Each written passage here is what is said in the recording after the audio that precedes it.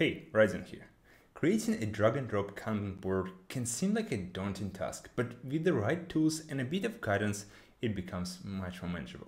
Today, I'll walk you through how to build a Kanban board using the DND Kit library, one of the most flexible and powerful drag and drop libraries for React. We'll be referencing the tasks board from Increaser, a productivity toolkit. While the Increaser source code is private, all the reusable components you need are available in the RadzionKit repository, which I've linked in the description. Whether you're looking to build a simple task board or a more complex system, this guide will give you the foundation to get started quickly. The task board component is the heart of our Kanban style task management system. It handles task grouping, drag and drop functionality, and updating tasks order and status. Let me walk you through how it works. The task board component receives a list of tasks via the items prop. But to display them effectively on our board, we need to organize them by status. This is where the group tasks utility function comes into play. It groups tasks based on their status, creating an array of groups where each group contains tasks with the same status. The toEntries function acts like object.entries except it returns an entry object with a key and value property. This is useful for working with records in a more type-safe way. To guarantee that every status is represented in the groups, we use the makeRecord utility function. This function creates an object where each status serves as a key and the value is initialized as an empty array. This ensures that even if a particular status doesn't have any tasks, its column will still be rendered on the board. Next, we merge the empty groups created by the makeRecord function with the actual task groups generated by the group items utility function. The group items function takes an array of items and a function getKey that extracts the grouping key from each item. It returns a record object where each key corresponds to a group, and the value is an array of items for that group. By combining these two utilities, we ensure that the task board not only contains the actual task group by their status, but also displays all possible status columns even if they have no tasks yet. To ensure that tasks within each group are displayed in the correct sequence, we use the sort entities with order utility function. This function takes an array of entities that have an order property and sort them in an ascending order based on that property. This ensures that tasks appear in the intended order within each status column. Once the tasks are grouped, we can proceed with rendering them on the board. To manage the task that is currently being opened in a modal or edited, we wrap everything inside the active item ID provider. Uh, this provider stores the ID of the task being edited. To quickly set up the state, we leverage the get state getStateProvider setup utility from RadzionKit, which I've linked in the description. Next, the active task component checks if there is an active item ID. If a task is currently being edited, the component will render the edit task form overlay with the relevant task data. The edit task form overlay allows user to modify or delete the task. When the user finishes editing or deletes the task, the onFinish callback is triggered, which sets the active item ID to null, effectively closing the modal.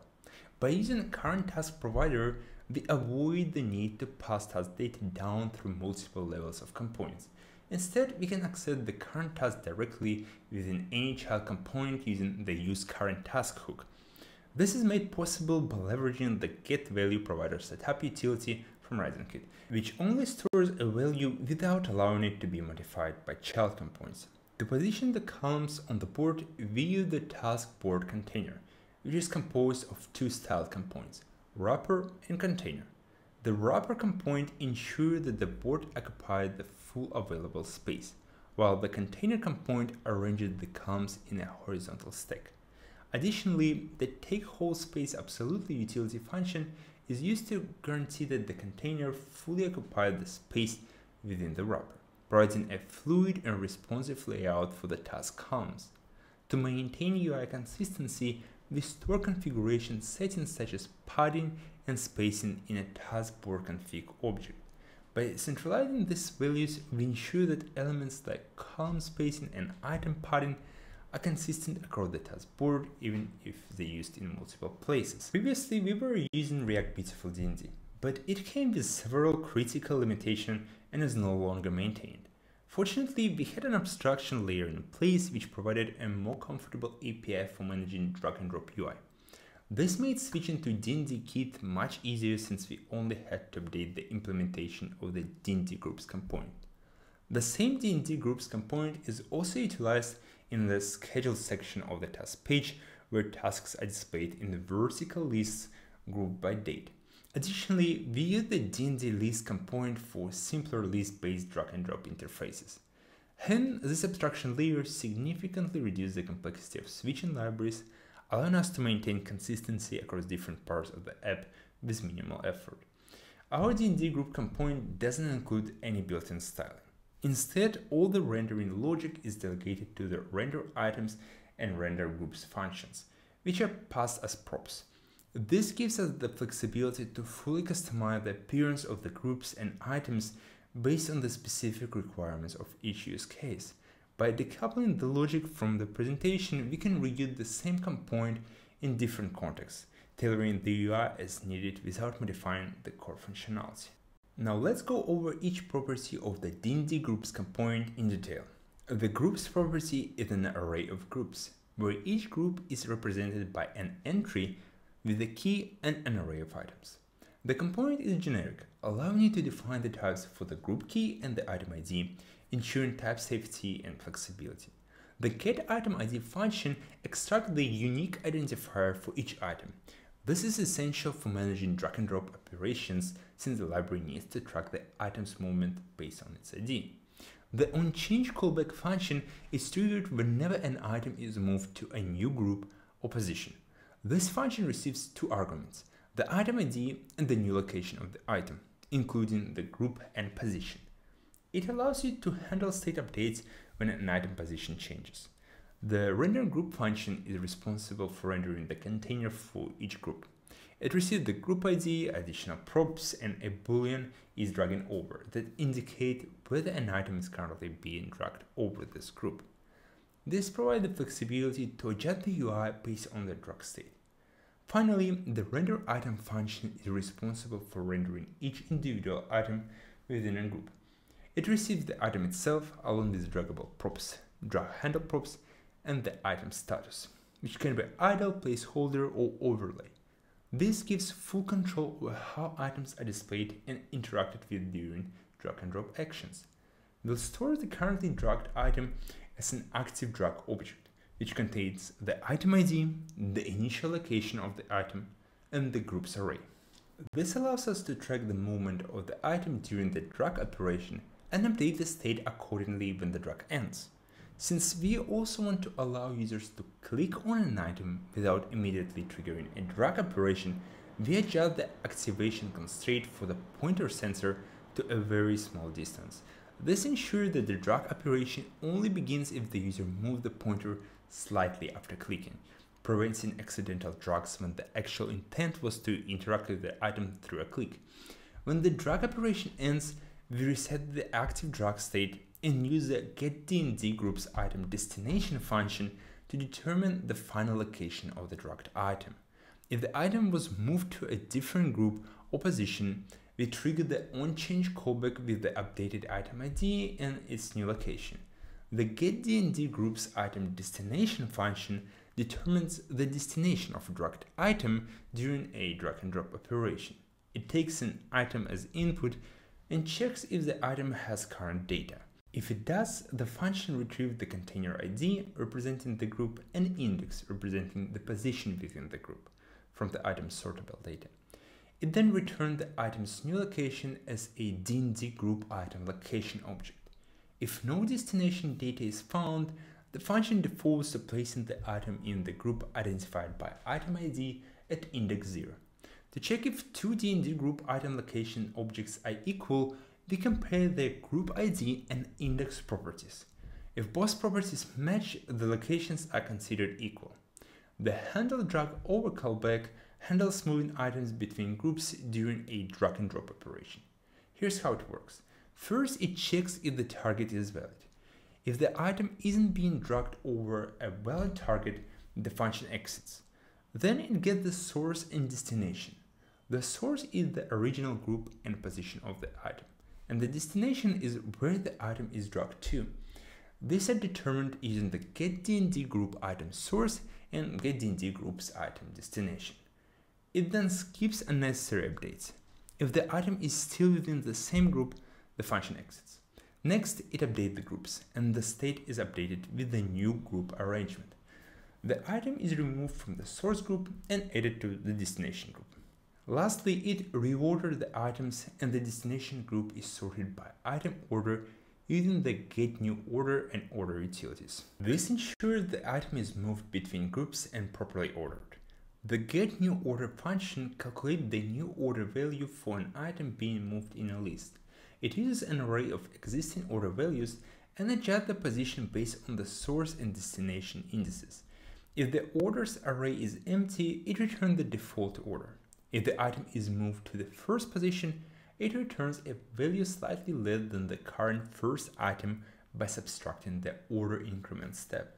For items in the middle of the list, the function calculates whether the item is moving up or down, then select the appropriate previous and next order values, returning the average between them to insert the item in the middle.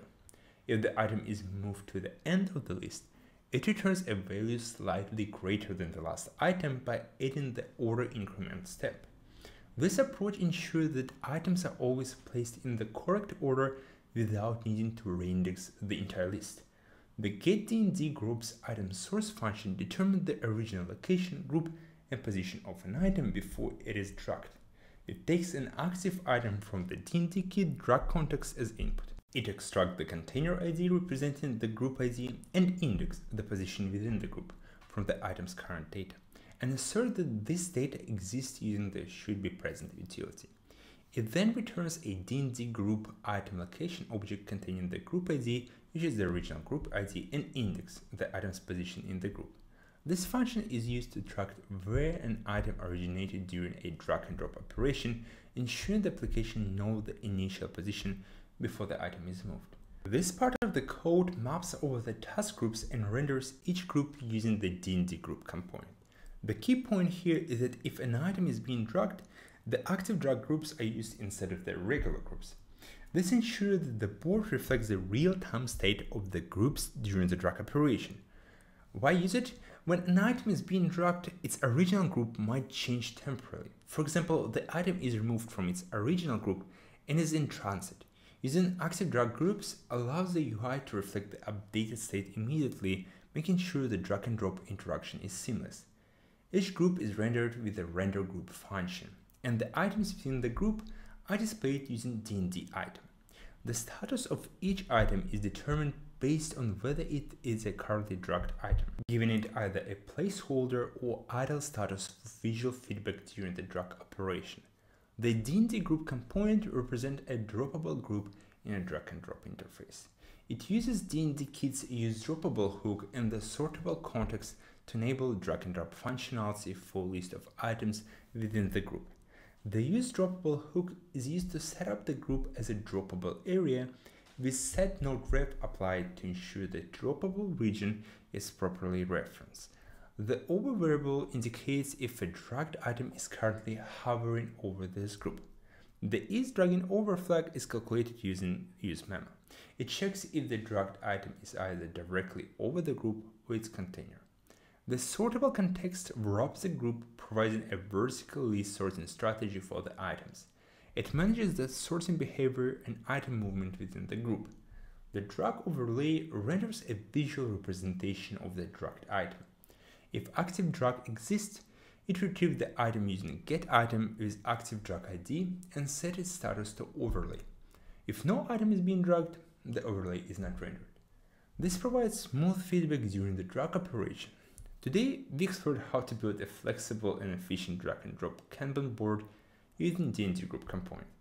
We broke down the key part of the component, including how tasks are grouped, rendered, and moved between columns while ensuring smooth interactions with the DND kit library. By leveraging utilities like get new order, managing drag statuses with drag overlay, and using customizable render functions for groups and items, we can create a robust drag and drop interface that adapts to various use cases. As this approach not only simplifies implementation, but also ensures a seamless user experience. That's all. If you like the video, please like and subscribe.